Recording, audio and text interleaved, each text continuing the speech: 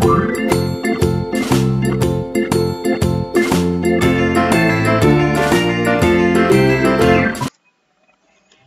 semua pada kesempatan kali ini kita akan membahas sebuah soal. Di sini sebuah kapal melaju dalam waktu 15 menit dapat menempuh jarak selap, uh, jarak 12,5 km. Nah, kapal tersebut uh, berapa kecepatannya ya dalam kilometer per jam. Nah, di sini kita perlu dulu diketahui di situ uh, jaraknya itu adalah 12,5 km. Waktunya itu adalah 15 menit. Nah, di, di sini satuan waktunya itu kan menit ya, tetapi di sini uh, yang diminta adalah jam satuannya. Berarti kita ubah jadi jam. Nah, karena satu jam itu adalah 60 menit, maka 15 per 60. Nah, ini kita bisa perkecil ya. Ini kita bagi 15, yang bawahnya juga kita bagi 15. Nah, 15 bagi 15 itu adalah 1, kemudian 60 bagi 15 itu adalah 4 ya. Jadi 1 per 4 jam. Selanjutnya kita tulis di sini adalah kecepatan.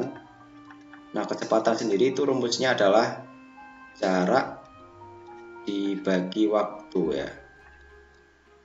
Di sini jaraknya itu adalah 12,5 km waktunya adalah 1 per 4 jam Nah, biar mudah kita ubah jadi perkalian dengan cara seperti ini ya. 12,5 kali. Nah ini satu per empatnya ini kita ubah jadi perkalian sehingga pecahannya ini tidak satu per empat tapi kita balik jadi 4 per 1 ya.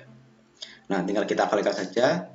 12,5 dikali 4 ya. Kita kalikan di sini. 12,5 kali 4 ya. Kita abaikan komanya terlebih dahulu kita kalikan 5 kali 4 adalah 20 simpan 2 2 kali 4 adalah 8 8 tambah 2 adalah 10 jadi 0 kita simpan 1 1 kali 4 adalah 4 tambah 1 adalah 5 ya. Nah kemudian kita baru lihat di sini di belakang koma itu ada satu angka ya. Jadi koma 5 ini ya satu angka. Jadi kita juga sama ya dari belakang itu satu angka satu di sini jadi komanya di sini nah karena ada 0 di belakang koma jadi kita tidak gunakan jadi kita hilangkan saja jadi jawabannya adalah 50. Nah, 50 dibagi 1 ini jadi tetap ya, jadi tetap 50. Jadi jawabannya adalah 50 km per jam. Nah, itu saja yang disampaikan. Semoga bermanfaat. Jangan lupa untuk selalu like, comment, share, dan klik tombol subscribe serta klik tombol loncengnya. Terima kasih.